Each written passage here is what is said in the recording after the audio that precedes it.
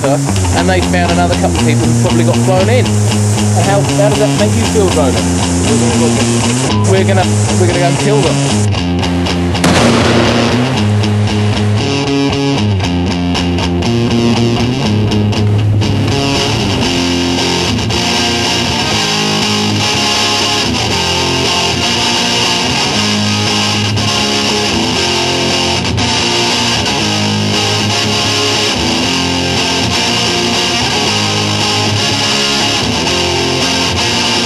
Here we are living in the forests.